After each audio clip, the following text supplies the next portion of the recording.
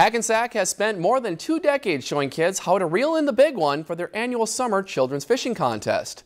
The first contest was held in 1996 and believe it or not, no kids had actually shown up. Now, 20 in 2018, the contest will sometimes see more than 100 kids participate. Every child walks away with a goodie bag, but there are special prizes for kids who catch the biggest, smallest, first, and the most fish in their age group.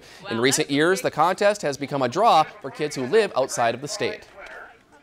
Uh, obviously, we have a lot of local kids. Um, you'll see them come up here. They catch a lot of the most fish because they know the little spots, they know the little secrets, um, and they've done it a whole lot. Um, but we get kids coming from uh, other local areas and as far away as we've had them from Hawaii, um, you know, for continental United States. Um, every state in the union has been here and uh, even other countries. We recently gave away prizes to kids from Germany. The fishing contest is held every Tuesday at 11 in Hackensack. There are still two contests left for this summer. If you enjoyed this segment of Lakeland News, please consider making a tax-deductible contribution to Lakeland PBS.